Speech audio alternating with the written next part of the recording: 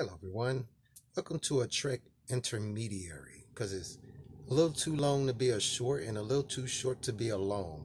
So, basically, the point of this video is I was just kind of give you guys a heads up on the next three videos that I have in the works. They're actually not the bootleg edition, so yeah, but um, because of the support I've been getting from you guys, I just kind of wanted to give you guys a heads up on the things that I'm going to be doing over here at Trek Cannon.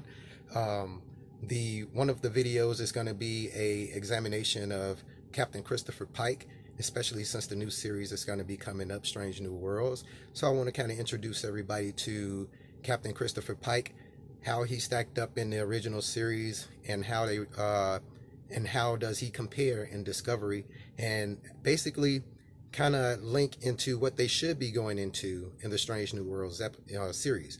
Uh, the next video is going to be on the top 10 exotic species that's presented in Star Trek. So not the omnipotent kind, but, you know, uh, exotic, you know, just the strange, you know, the, the top 10 weirdest exotic uh, species in Trek. And the third video is going to be on, it's going to be a continuity video. I love doing continuity videos. And it's going to be on the progenitors, the preservers, and the wise ones.